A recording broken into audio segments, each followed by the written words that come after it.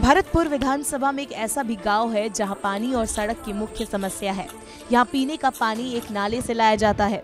इस पानी की वजह से आए दिन ग्रामीण बीमारी का शिकार होते रहते हैं। बीमारी से जूझ रहे ग्रामीणों को अस्पताल तक पहुँचाने के लिए उबड़ खाबड़ रास्ते का सहारा लेना पड़ता है। हम लोग को पानी बहुत दिक्कत होता है और गली का। रोड का। पानी के लिए कितने दूर आना पड़ता है आप लोगों को? पाँच छः किलोमीटर। है ना? पानी यहाँ इसी नाले का पूरा पानी ले जाके पीते हैं आप सब कोई पीते हैं ये नाला। है ना? पूरे गाँव में इसी नाले के पानी से हाँ, पीते हैं। प्यास बुझाते हैं। मेरा समस्या यही है पानी की तकलीफ़ मेरे को हो रहा है इतना दू दू डेढ़ किलोमीटर से दूर से ले जा रहा हूँ पानी। हाँ। एक तो हैंडपम्प आया था मांगे थे तो उसको हेड पंप के लेकर दूसरे मोहल्ले में खुदवा दिया दूसरे जगह। कौन खुदवा दिया? हो गया पंच सरपंच इधर बोले थे गाड़ी नहीं जा पाएगा। हाँ, बरसात लग गया हो गया।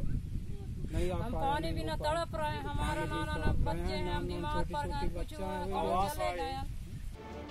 एसडीएम सहित कलेक्टर कोरिया तक कई बार लिखित में पानी की समस्या को लेकर आवेदन देकर थक गए हैं, लेकिन समस्या का समाधान नहीं हुआ है, जिससे आज भी यहाँ के लोग मजबूर होकर कुंड ढूंढी, व उपका का पानी लगभग एक से दो किलोमीटर की दूरी से लाकर पीते हैं। वही कोरिया के कलेक्टर ने बताया कि जिस ग्राम में पानी की समस्या आ रही है, वहाँ हैंडपंप, बोरवेल के माध्यम से पानी उपलब्ध कराने का प्रयास जारी है। अभी पानी की व्यवस्था पर निगरानी रखे हुए हैं और जहाँ जहाँ हैंडपम्प खराब हो रहे हैं अन्य हमारे नल जल योजना है उसको दुरुस्त कर रहे हैं। आ, कुछ कुछ स्थानों पर बोरिंग बंद होने की जैसे एक पारा या दूसरे पारा में बंद होने की शिकायत आती है उसको त्वरित बनवा भी रहे हैं। जैसे महदौली का समाचार पत्रों में और अन्य माध्यम से पता चला था तो वहाँ पे एक बोर भी कराया गया है। ताकि लोगों को कोई दिक्कत ना हो। इसके अलावा कछवाट वगैरह, अन्य गाँव के बारे में भी सूचना आ रही थी।